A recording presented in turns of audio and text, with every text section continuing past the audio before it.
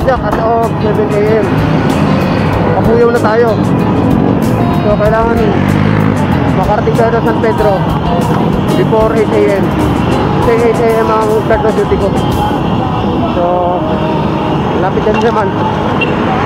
Siguro 30 minutes na lang to. So tara na.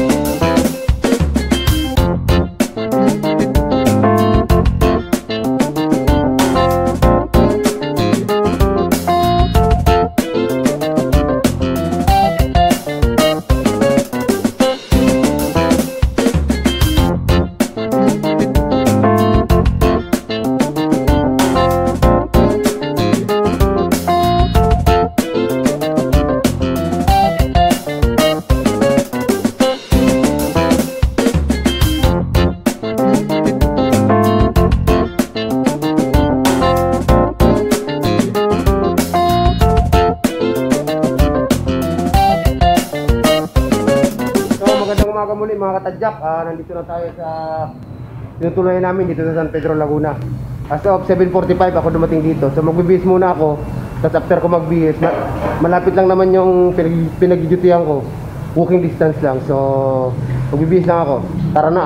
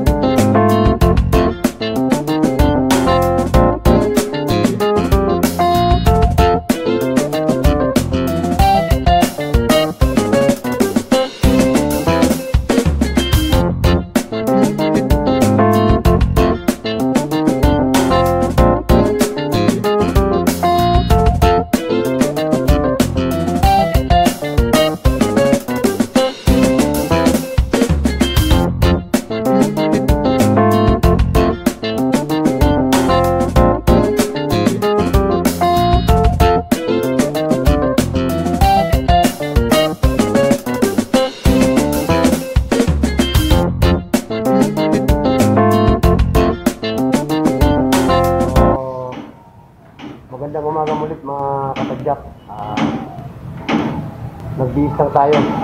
Tapos, didiretso na tayo sa pinagdidutihan natin sa San Pedro, Muntinlupa Boundary Checkpoint. So, tara na!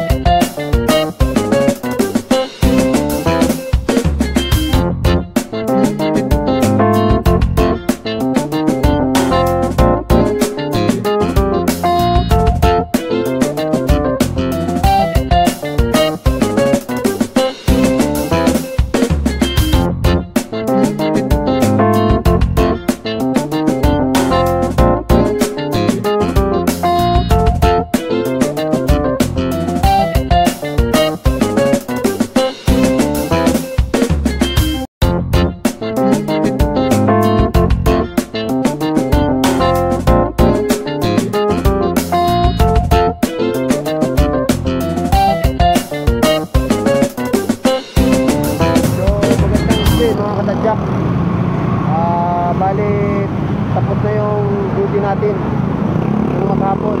So, ah, kakain lang ako ng hapunan tapos duty ulit mamayang gabi. So, tara na.